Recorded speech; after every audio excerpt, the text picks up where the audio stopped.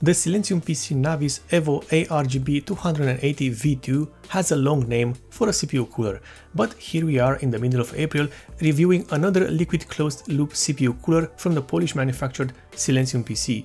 This cooler is using the same Asetek based platform like most CPU coolers in this price range, and that's not exactly a bad thing, but it depends on how it is implemented within this product. To start this off, the radiator used for this cooler is made from aluminum and not copper and can accept two 140mm fans and has the standard dimensions of 310mm in length, 140mm in width and a thickness of just 28mm.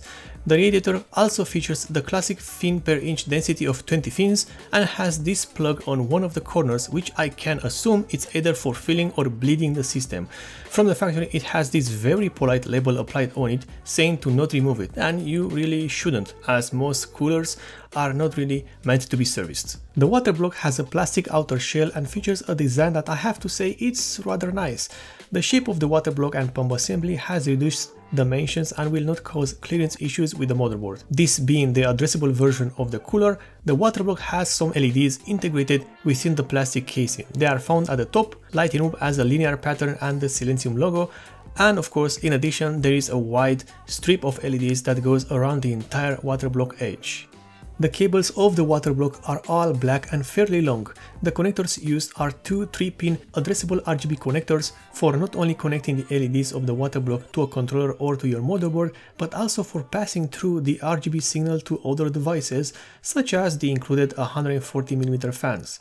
And then you have a standard SATA connector for powering the pump found inside the water block. The base plate of the cooler is smooth and made out of copper. There is no mirror-like reflection to be seen here. However, the surface is smooth enough to allow for the even spreading of the thermal compound on the CPU surface. The two tubes of the cooler are connected to the water block using plastic fittings which thankfully are able to swivel. Still speaking of the tubes, they have a length of approximately 380mm and are covered in high quality synthetic sleeving on their entire length. They are also held in place to the radiator and to the water block with a metal coil fitting which I have rarely seen before but being made out of metal we can expect to last a long time. The cooler uses two 140mm fans. These are the Silentium PC Stella HP ARGB models. They have a speed range of 800 to 1800 RPM and can be controlled through software or through an external controller. Thankfully, this fan is available as a separate product, so replacement or having a push-pull configuration can be done with ease. Additional features found on the Stella HP fans include rubber pads on the corners of the fans and a bunch of connectors. You have two connectors for the addressable RGB LEDs and two connectors for powering the fans. The two connectors are used for passing through both the power of the fan and also the RGB signal of the LEDs.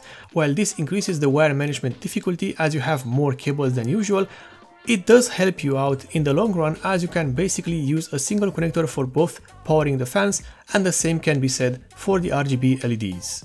The installation process is fairly easy, but there is one thing that I will complain about. You see, you install the backplate at the back of the motherboard, and then you have these metallic studs that go through the motherboard onto the side of the CPU socket. All good so far.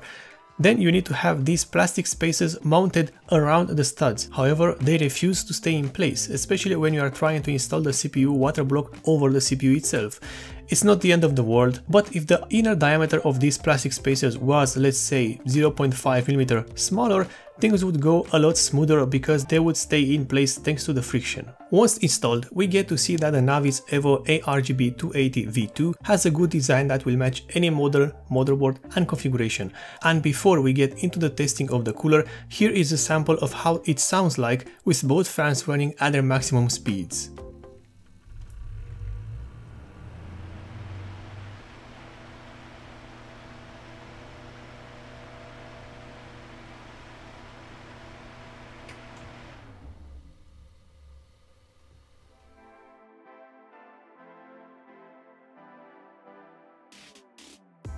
For reference, the pump noise is so low that it's not even worth recording. Trust me, this cooler has a really quiet pump even when running at its maximum speed.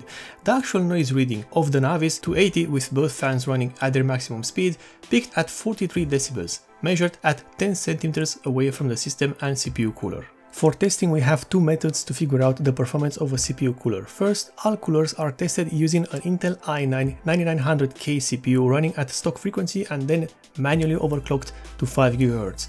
The first test uses the Intel Burn Test V2 benchmark, which simulates a CPU load that you can reach in modern AAA video games. And in this test, the Navis 280 V2 ARGB reached a maximum temperature of 60 degrees Celsius with an ambient temperature of 26 degrees Celsius, a temperature which puts this cooler on the same level as the Noctua NH-U12A or the Quiet Dark Rock Pro 4. However, the second test is where we see the true cooling performance of these coolers because I am using the FPU stability test found in the AIDA64 software. And in this test, the temperature reached by this cooler was 85 degrees Celsius with the same ambient temperature of 26 degrees Celsius.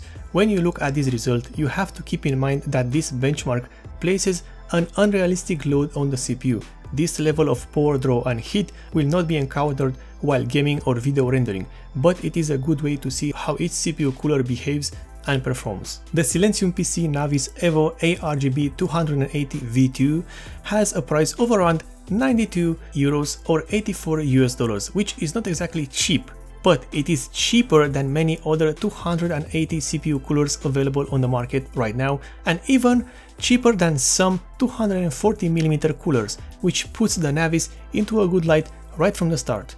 The cooling performance is good, but I was expecting a bit better, especially from a cooler that has bigger fans and a bigger radiator. However, it is not a bad cooler at all, and the price makes it even better. But one of the main reasons to get this cooler is the noise.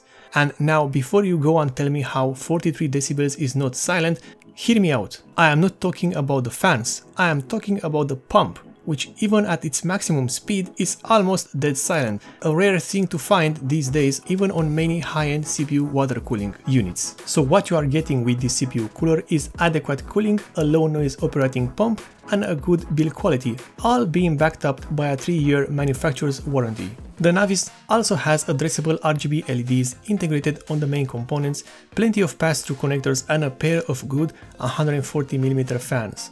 Also, you get an addressable LED controller included in the package, which increases the value of the cooler even more. If you like this review, then perhaps you can consider subscribing for more and also if you want to support the channel directly, in the description below you have both the Patreon and SubscribeStar pages.